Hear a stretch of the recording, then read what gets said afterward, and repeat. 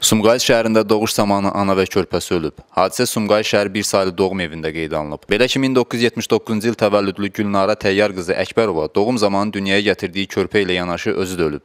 Əkbərovlar ailəsi həkim səhlənkarlığı iddiası ilə adiyyatı qurumlara şikayət ediblər. Şikayət əsnasında ana və körpənin meyidi Səhiyyə Nazirliyi Məhkəmə Tibbi Ekspertiz və Patoloji Anatomiya Birliyinin mərkəzi şöbəsinə təhvil verilib. Faktla bağlı araşdırma aparılır.